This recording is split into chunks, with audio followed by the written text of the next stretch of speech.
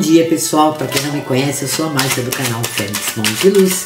Estamos fazendo uma tiragem diferente, uma tiragem mais rápida, onde você escolhe uma opção para você e compartilha com alguém que você ama, com um amigo, com uma amiga, com alguém que você sabe que talvez esteja precisando de uma mensagem, de uma orientação da espiritualidade. Lembrando, não ouça a sua tiragem, a sua escolha antes de compartilhar, tá? Por quê? Para não quebrar né, aquela energia gostosa. Então você compartilha com quem você escolheu, diz para a pessoa: olha, escolhi uma opção para você. Aí você volta, ouve a sua e deixa o comentário ali se fez sentido para você ou não, tá? É muito importante que a pessoa que receber essa opção também venha e comente, né? Muito obrigada, eu recebi da minha amiga ou do meu amigo, fez sentido para mim, né? Ou não fez. É isso? Vamos lá? Vamos cortar no centro. Vamos usar os anjinhos. Olha aqui, duas opções. O anjinho número um. Olha, Vamos usar aqui um outro. Esse aqui tem um buquezinho de flores, né? E esse aqui está tocando uma gaita. Olha que lindo.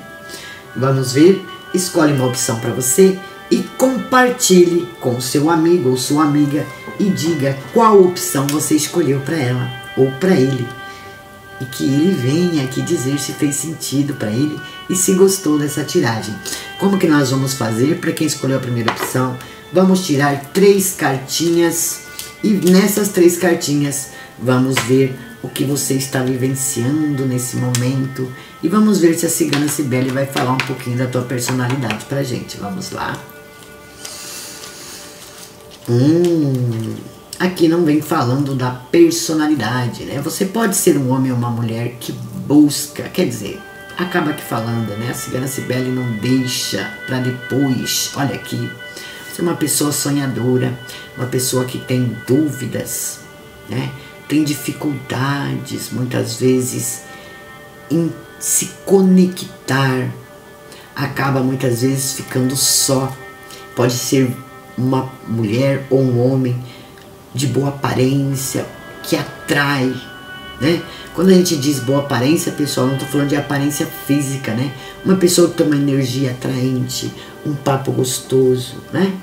Mas que tem planos, sonhos que muitas vezes não consegue realizar, porque sempre tem alguém ali invejando o que é teu, te emanando energias negativas. Muitas vezes você pode ser vítima até mesmo de pragas, né? Porque pessoas invejosas é terrível, né? Mas eu sempre costumo dizer quando sai a carta da cobra, para que a pessoa tome cuidado com amigos, né? Porque a cobra não te, não te ataca se ela estiver longe. Então, provavelmente, alguém próximo de você não é tão fiel, não gosta tanto de você como demonstra. Pode ser alguém ali que não torce por você. Mas olha aqui, uma carta do renovo. É como se fosse a carta do louco, do renascimento, né? Esse buquê vem trazendo para você coisas boas na área de relacionamento. Se você estava em busca de um relacionamento amoroso ou tenha perdido um relacionamento que te causou frustração por inveja de outras pessoas ou até mesmo familiares, né? que interfere, que fica ali jogando veneno, vem algo novo para você aí. Essas nuvens, essas dúvidas, esses medos, essa solidão vai passar, tá, meu amor? Tem algo novo chegando para você, literalmente. Olha que coisa boa. Imagina se você compartilhou com uma amiga ou com um amigo que terminou um relacionamento, está um pouco frustrado, ele vai ficar muito feliz em saber que tudo está passando, que as coisas vão voltar a fluir. Para quem escolheu o segundo anjinho, vamos ver o que, a cigana Cibele trouxe para gente. Vamos ver do que ela está falando, se ela vai mostrar a personalidade de vocês. Cigana Cibele, Oh! Se você compartilhou isso com um amigo, ele vai ficar muito feliz. Já começou aqui com a carta da foice, né? Talvez você já tenha feito alguns cortes na sua vida. Se você não fez, a hora é essa. Aproveite, corte tudo que não te acrescenta, tudo que te limita, tudo que te faz se sentir impotente e incapaz. Por quê? Porque você pode. Você tem a chave para abrir novas portas, para ter novos começos. Eu costumo dizer que essa chave é uma chave universal. Ela abre todas as portas não só do plano físico, mas também do plano espiritual. Mas tem coisas que podem estar aí atrasando a sua evolução, atrasando o seu processo, que precisam ser cortadas da sua vida. Mas essa carta da foice, em alguns casos, acabei de ser intuída em dizer que em alguns casos ela pode estar representando que você precisa fazer cortes. Não é isso? mas em outros que você chegou na hora da sua colheita, porque você tem a chave universal. Então, adapte a sua situação, né? Que são muitas energias. Se você sabe que precisa fazer cortes, faça. Mas se você parar e pensar, não, Márcia, eu já fiz todos os cortes. Então você sabe que agora é só você colher, pegar a sua chave, abrir novos caminhos, criar novos projetos, investir em você.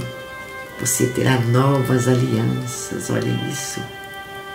Isso pode estar falando até de um casamento, tá? De repente você terminou um relacionamento e ainda está estagnado naquela energia, vibrando, né? Naquela energia. Ai, agora eu vou ficar sozinho, sozinho. Não, vai aparecer pessoas novas aí para você, novas parcerias. E olha, se era um relacionamento que estava tendo dificuldade, corte o que não acrescenta e colha o que você merece. Olha aqui, uma aliança, um elo que nada nem ninguém pode quebrar. Olha isso! Pessoal, eu estou gostando dessa tiragem. Gostei, porque é uma tiragem curtinha, é uma tiragem que você vai compartilhar com alguém, levar uma palavra de consolo, uma orientação para outra pessoa. É muito gostoso. Eu gostei. Se vocês gostaram, por favor, deixem ali no, no, é escrito ali nos comentários. Curtam o vídeo. Não esquecem de compartilhar antes de ouvir e falar para a pessoa qual a opção que você escolheu para ela, tá bom? Pessoal, o link fica abaixo para fazer parte do nosso grupo, né? E também para estar é, agendando tiragens, fazendo tratamentos terapêuticos, tá bom, meus amores? Bom, meus amores, é o que tem para vocês hoje. Espero que tenha feito sentido para você. Gratidão. Namastê. Tchau.